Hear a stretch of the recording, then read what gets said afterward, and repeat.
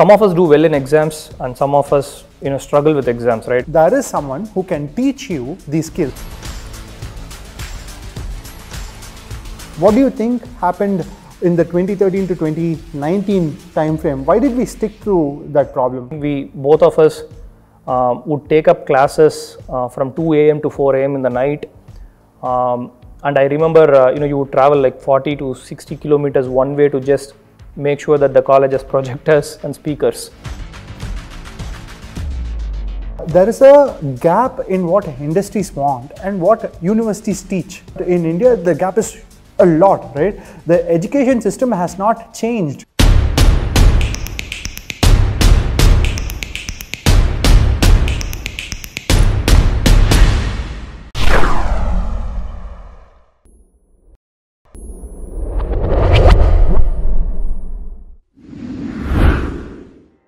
Hey guys, this is Surya from Skill-Lync. and i'm sarang So this video is about how Skill-Lync started, how we have traveled over the period of time, and where we are going. And uh, let me let me start with my background. I'm a mechanical engineer. I did my undergrad at St. Joseph's Engineering College in Chennai, and uh, post undergrad I got into CTS uh, like every mechanical engineering does. But I did not want to spend my time in CTS because I actually loved mechanical engineering and I wanted to create a career in mechanical engineering. And that's when I realized there's a, a possibility to do my master's. I went on to do my master's at University of Wisconsin-Madison. And uh, that's essentially the place where we realized um, what we learned at undergrad was very theoretical and what say a grad school or at a work you need is the practical application of theory right? Uh, say for example uh, one of the courses that i took in my first semester is heat transfer and it is one of the toughest course that i have taken in my academic career. Uh, but it was one of the course where i learned the most right? And especially because i had to use tools like matlab engineering equation solver python in order to solve uh, my homework problems. But i did not know any of these tools. I learned I, I knew the theory but no idea on these tools. So had to put in a lot of effort to understand these tools and uh, go from there right? And uh, post my post my grad school at uh, uw madison i went on to work for cummins as a product development engineer. I worked on something called crankcase ventilation at cummins. And uh, uh, three years at cummins was one of the best time in my professional career i learned so much things right? One of the things that i learned there as well is theory only helps you to understand a few concepts but it does not allow you to solve problems. The ability to solve problem comes with your ability to understand how to implement theory using a computational tool to solve practical problems right? And, and that's where we realized the problem that we have at undergrad. And uh, that's uh, that's my side of the story of why we started Skill-Lync Uh, you know, just like Surya said, I'm also a mechanical engineer. I did my bachelor's in mechanical engineering at uh, College of Engineering Technology uh, in Karaikudi. And uh, once uh, I finished my undergrad, uh, you know, I was able to get, uh, you know, a job offer at CTS just like Surya and also one offer at Robert Bosch. But then a few of my friends were doing masters. They were planning to do their masters at that point, and that inspired me as well. And I was fortunate enough to get into the University of Wisconsin Madison. Uh, at that point, I was extremely interested in internal combustion engines, and uh, I was fortunate enough to get into a lab called as the Engine Research Center at the at the University of Wisconsin Madison. And I think uh, just like what Surya mentioned, uh, a lot of things changed regarding how uh, you know engineering is actually pursued uh, you know in countries outside India. What, the key difference was you know uh, we were extremely good at theory. Uh, I still remember in a lot of classes I used to answer a lot of questions, but then when the professor would slap us with the homework where we have to build a simulator in MATLAB, uh, we would spend hours and hours to essentially even do basic st- uh, stuff in programming. And uh, the first semester especially was very hard because you know three subjects that we would actually uh, take in our masters would be equivalent to say six undergraduate subjects in terms of effort so it was very hard. Uh, a lot of uh, time was spent during the weekends learning the fundamentals of programming. And after one semester both i and surya felt like you know we were able to cope up with uh, you know the way the curriculum is structured right? And i think that was essentially the one of the starting points of skilling. We realized that a lot of our junior students who were joining later and who also came as part of research, uh, you know an exchange program had the same issue. They were very good in doing pen and paper calculations and uh, applying their theoretical knowledge. But when it comes to using, say, software programs, say MATLAB or Python, to build some of these simulators, um, you know, they had an extremely hard time. And uh, once we felt like this problem was there, we felt that you know we needed to create a solution for it because you know it was a personal pain point at that point and if we had a solution like this it would not only just benefit our juniors but it would also benefit a whole lot of people that actually pursue engineering. And that's kind of the reason why uh, surya and i decided to start Skill-Lync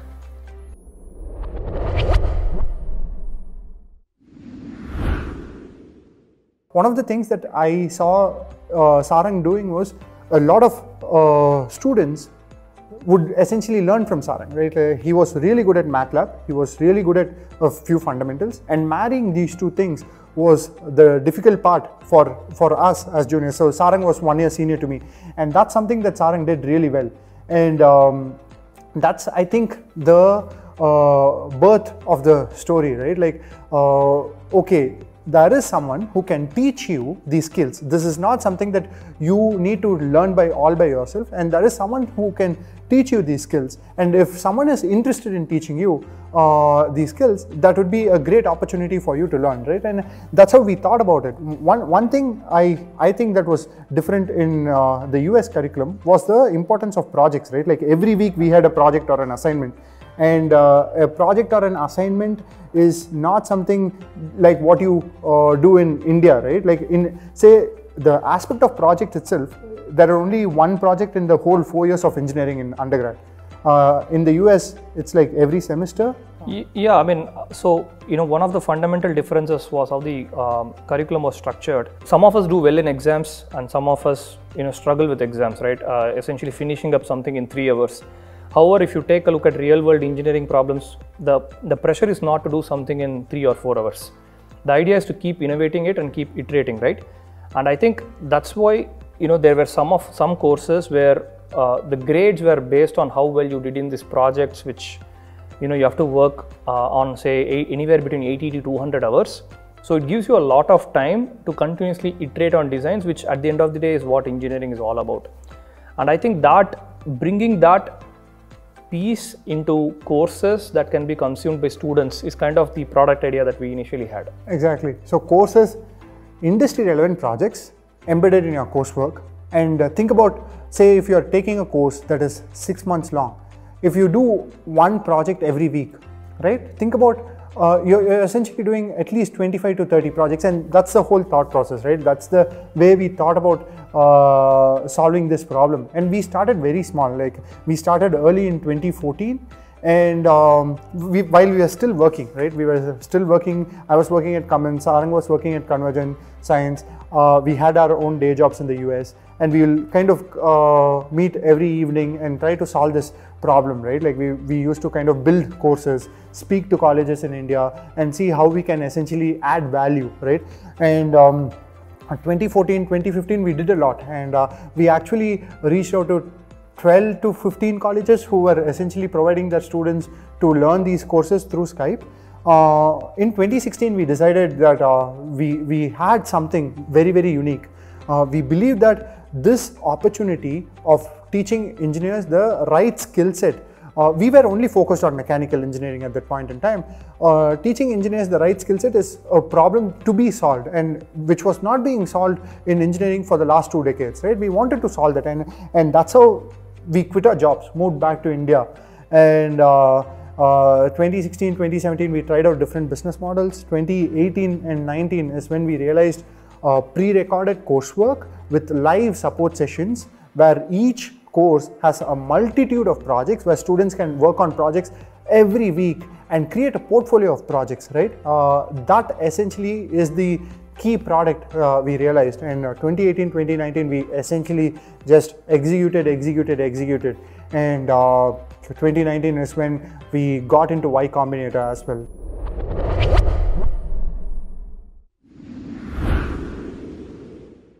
Uh, one of the things that I wanted to speak with Sarang and ask his thoughts as well, right? Like, uh, in this in this time frame, right? Uh, say for example, 2016, I quit my job. Uh, Sarang was supporting from the US, uh, and uh, uh, so we are two founders, just two of us, working at different locations, and we kept on going, right? Um, and uh, how, how was it? Like, what what kept us motivated? Why why do you think we started in 2013? And uh, people will know about Skill-Lync right now, but 2013 to 2021 is like eight years and uh, let's say 2019 was our break breakout point with Y Combinator and so on. What do you think happened in the 2013 to 2019 timeframe? Why did we stick to that problem?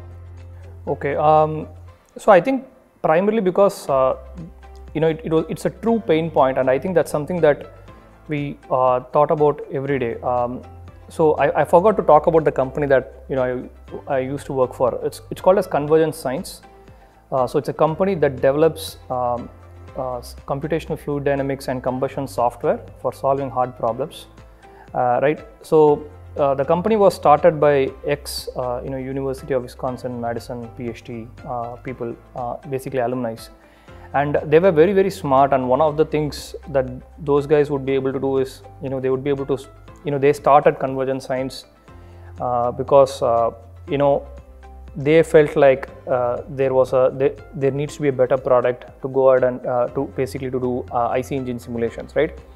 And you know one of the things that they would tell us, you know, they just kept on going for a lot of time, and uh, for us, and the reason why they did that is because they really believed in that pain point. And I think thinking backwards, uh, that one of the main reasons that I think we both stuck to solving this problem is because I think it's a problem that we truly believe in, right? it's it's not just a business opportunity. I think more than a, more than being a business i think it's a problem that we wanted to solve. And i think that's one of the reasons why for all those six universities i think we both of us um, would take up classes uh, from 2 a.m to 4 a.m in the night. Um, and i remember uh, you know you would travel like 40 to 60 kilometers one way to just make sure that the college has projectors and speakers and we did this for uh, six months without getting paid. Yeah, yeah, uh, uh and this is like 2017, I think. Uh, so people who know Chennai, uh, so there was Velammal Engineering College, there was SSN College, like two ends of Chennai, right? Like both, I think 150 kilometers in between, or 100 or 150 kilometers. Um, I we used to have a 8 a.m. or a 8:30 a.m. class at Velammal, where essentially since it was just two of us, Sarang was in the US teaching the class, I was here setting up the classes, right? Uh, I used to go to Velammal and uh, set up the infrastructure. So, and then finish the class and go to uh, SSN at 2 o'clock, set up the class and, and it would be 4 in the night for Sarang. And, and we did that, right? And we enjoyed doing that, right? Like uh, now, if you ask us, I don't know if we would do that. Uh, we enjoyed doing that very, very personally because we thought that we had this unique opportunity to change uh, the way people learned engineering and nobody gave us that opportunity right? Like uh, uh, I, I got 70 75 percentage in undergrad right? Like there was a huge number of people in my college who would have done what uh, I asked them to do right? Uh, and I thought that I let them down by not guiding them to do the right thing because I did not know what to what the right thing was. And that was a very personal pain point when I was working at Cummins when I saw my peers not succeeding as well as uh, I thought they would succeed uh, and they had the caliber, right? They did not have the exposure. And I was the lucky one who got that exposure. Now, and when we, when I quit back to, from the US and moved back to India, um, at that point in time, money was not a motivating factor and because there was no money out there. Uh, and we just went and did things.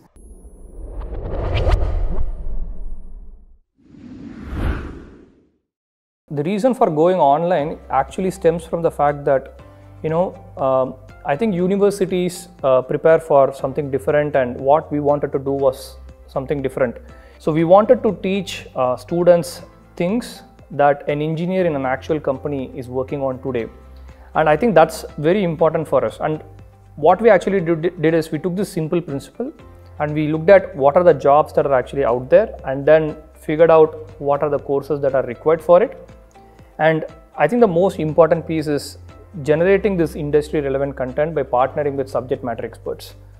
Uh, you know, right now we work close to say anywhere between 800 to 1000 industry experts, uh, not just in India but across the globe, who teach classes who basically do these recordings for us and uh, you know we are also able to customize this content based upon the jobs that are there uh, in that particular region. So one of the exciting things is you know i think 20% of our users are international and it has been that way right from beginning. Uh, why? Because i think if you take this problem statement I, I don't think this is an india specific problem. This is something that uh, you know people in the us in the uk and other developed countries also face which is you want to make sure that uh, whatever you learn in the university is relevant to the jobs that are actually available in that particular region and i think we have had people uh, you know some some people who have actually pursued their masters in the us who, who, who were able to actually get you know full-time jobs based on the courses that they have learned from Skill-Lync Yeah, I think I think right now we have around 65 countries from which our users come from, uh, and then the fact is very simple, right? Uh, there is a gap in what industries want and what universities teach.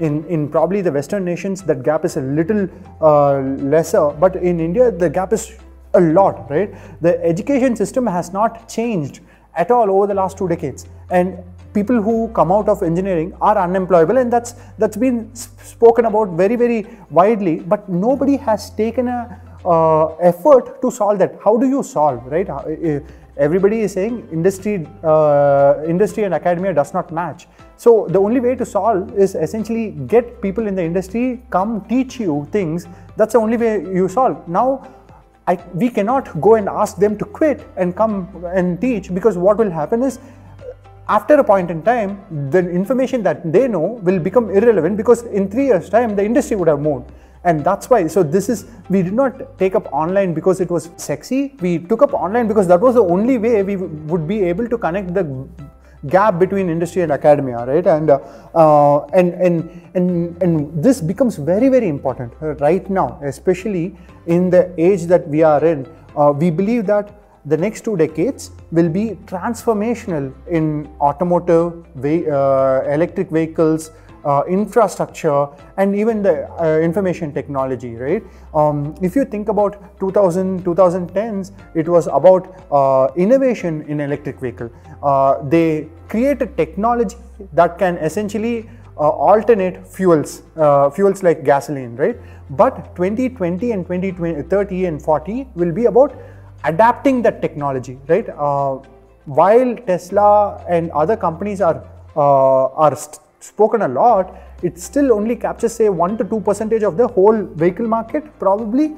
And now think about it. We are speaking every government in the uh, world is speaking about transitioning to electric. And if you're thinking about it you need so many engineers in embedded systems uh, mechanical transportation systems electrical uh, uh, integration between electrical and mechanical systems computer science to kind of build this product which is essentially electric vehicles same with infrastructure. Especially in a country like India, where you have more than a billion people, your infrastructure uh, essentially needs to be better so that it can accommodate people and give a better lifestyle, right? And you need to have better infrastructure, and you are seeing a lot of metro cities come, uh, drainage systems will become better, roads will be uh, better over the next two decades. And who builds that? The civil engineers build that, electrical, mechanical engineers contribute that, right? And and computer science becomes an integral part in integrating every aspect of it in order to kind of move it forward. Nobody in the world cares about this as much as we do at Skill-Lync. And then while it might be a bold statement, the reason we say that is nobody has built what we have built, and that's why we have seen every every country in the world essentially has a Skill-Lync student right now, um, or probably every major country in the world has a Skill-Lync student right now, and that's what we are very very uh, excited about what we are building over the next uh, two three years. Why did we even do that? Like we we started applying for Y Combinator in 2014, and uh, we kept on going. getting into Y Combinator was not the objective. Applying for Y Combinator was the objective. They felt like we were approaching the problem the right way, and also maybe applied too many times. So they almost felt like they needed to just talk to us to see if we are Yeah. actually crazy or not.